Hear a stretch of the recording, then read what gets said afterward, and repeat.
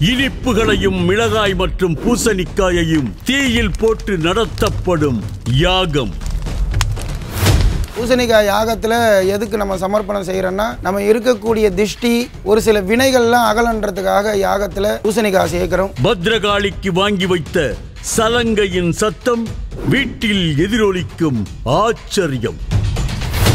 என் குழந்தைக்கு உடம்பு சரியில்லாத இருந்தப்ப நான் வேண்டிக்கிட்டேன். அம்மா கால்களுக்கு நான் சலங்கை வாங்கி கொடுக்குறேன்னு சொல்லிட்டு. வாங்கி கொடுத்துட்டு அந்த அமாவாசை பூஜை முடிச்சுட்டு நான் வீட்டுக்கு போகும்போது அந்த நைட்டே அந்த சலங்கை போட்டு நடக்கிற சத்தம் என் வீட்டுக்குள்ள ஃபுல்லா ஒழிச்சது. அசுரனின் மனைவி வயிற்றை கிழிக்கும் ஆவேசமான மயான கொள்ளை திருவிழா.